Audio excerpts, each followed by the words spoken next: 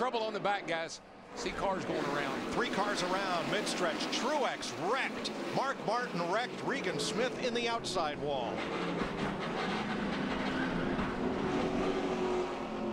Caution at lap 215. Here's a look from Kevin Harvick. 31 shop track. Stay low. It's all good. Stay in it. Stay in it. Stay in it. Not sure. I, don't- I don't think he, I think I think Truex was was really. I think he was about to spin out. From A.J. Allmendinger.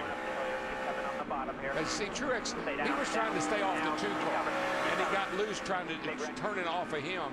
I don't believe the 29 had any contact at all.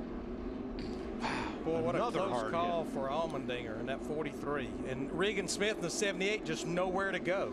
And Jamie McMurray in the one is going to sneak through here whew, and miss it, Trevor Bayne also did a nice job of uh, getting through that.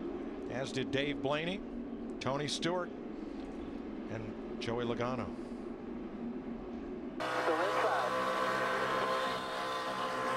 Watch it there. Watch it. Two are in our bad yard mark.